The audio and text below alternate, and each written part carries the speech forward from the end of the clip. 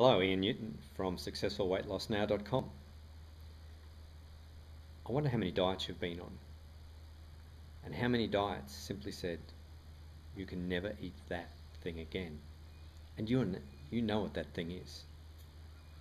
It could be a cookie, it could be cake, it could be chocolates or pizza or ice cream.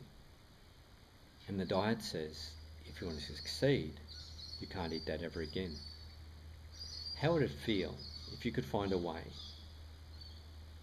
using the iChange Ideal Weight Program, that would allow you to eat your favourite foods and still lose weight, but most importantly, not become stressed by the whole process, not feel deprived or starving or feeling like a social leper at functions where you're the dieter and it becomes obvious because you're refusing the salad dressing and the dessert and the breads and so forth.